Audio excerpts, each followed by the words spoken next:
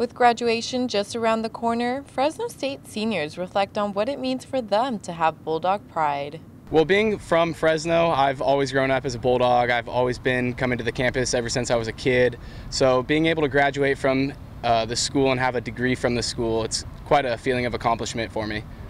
Students from all different backgrounds want to be a part of the Red Wave.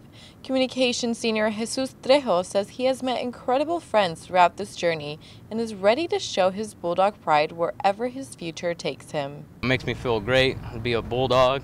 Once a Bulldog, always a Bulldog. Now, any student can be a proud Fresno State alumni.